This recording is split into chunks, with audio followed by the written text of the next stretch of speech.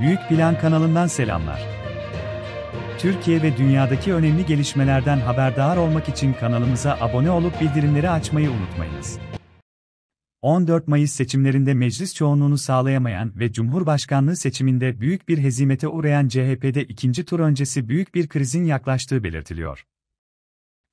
PKK ve KHK'lılar gibi birçok konuda rahatsız olan parti içindeki Atatürkçüler, milletvekili seçimleri sonrası sert tepkiler vermeye başladı. Parti içindeki Muharrem İnce'ye yakın 24 kişilik bir grubun Kılıçdaroğlu seçimi kazanamaması halinde deklarasyon yayınlayacağı öğrenildi.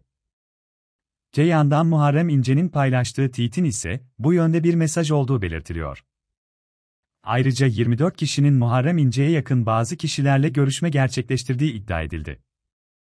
Edinilen bilgilere göre, CHP içerisinden 24 Atatürkçü milletvekili geçtiğimiz hafta içerisinde Memleket Partisi Genel Başkanı Muharrem İnce'ye yakın bazı kişilerle görüşme gerçekleştirdi. Hatta bu milletvekillerinden bazılarıyla Muharrem İnce'nin bizzat görüştüğü öğrenildi. Doğu Anadolu'daki bir ilden milletvekili seçilen ve aynı zamanda önemli bir iş adamı olan bir CHP'linin organize ettiği bu grubun 28 Mayıs seçimi sonrası önümüzdeki hafta bir deklarasyon yayınlaması bekleniyor. Kemal Kılıçdaroğlu'na karşı kazan kaldıracak CHP'li Atatürkçülerin yayınlayacakları deklarasyonla Muharrem İnce'ye, partiye geri dön çağrısı yaparak CHP'nin başına geçmesini istemeleri bekleniyor.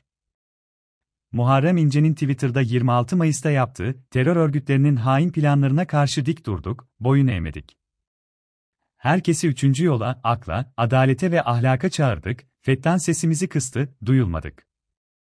Vazgeçtik mi? Asla. Pazartesi günü üzerimizi çırpıp yeniden başlıyor, içimizde Cumhuriyet'in neşesi ile yollara düşüyoruz şeklindeki paylaşımında bu çağrıya hazırlık olduğu belirtiliyor.